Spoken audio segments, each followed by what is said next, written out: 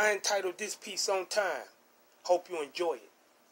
I'm a weary traveler on a monumental journey, and it won't stop, even if I'm barely breathing and stressed out on a gurney. You see, this is a mental affair, so no other endeavor will ever compete or compare. I'm trying to get my mind right, but doubt and fear has me questioning the light. Is it truly meant for me to see? I was once told that belief is the key to ecstasy, but it's kind of hard to believe when it seems like all you do is grieve. I ask myself, was I really born to underachieve?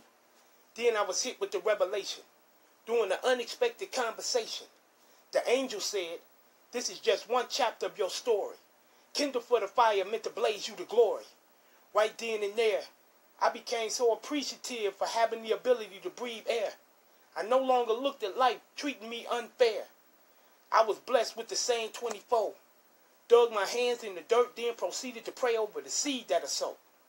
After it blossomed and bloomed, I was invited to speak in sold out rooms where everyone present hungered to consume the wisdom I had to share in the middle of the afternoon.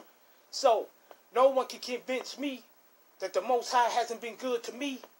What will be, will be, and not on our time but on time. Peace.